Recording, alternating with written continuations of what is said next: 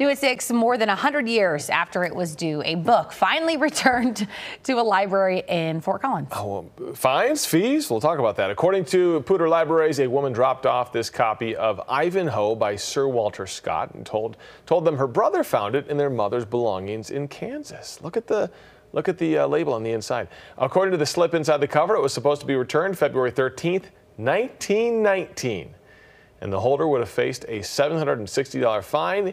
If you adjust that for inflation, the amount goes up to about $14,000. The library stopped charging fines back in 2020. I, I, every time we have a story like this, they always this in this case the, the library stopped doing fines and many libraries have stopped doing fines but uh, in, when, when they have it they say well we're not going to charge them a fine and i've always thought well then the lesson is if you have a book and you didn't return it wait 50 years then return then it. return yeah, I've got some fines right now at the library. Well, but you have to pay them if you return the book. Right. So many libraries have stopped doing late yeah. fees.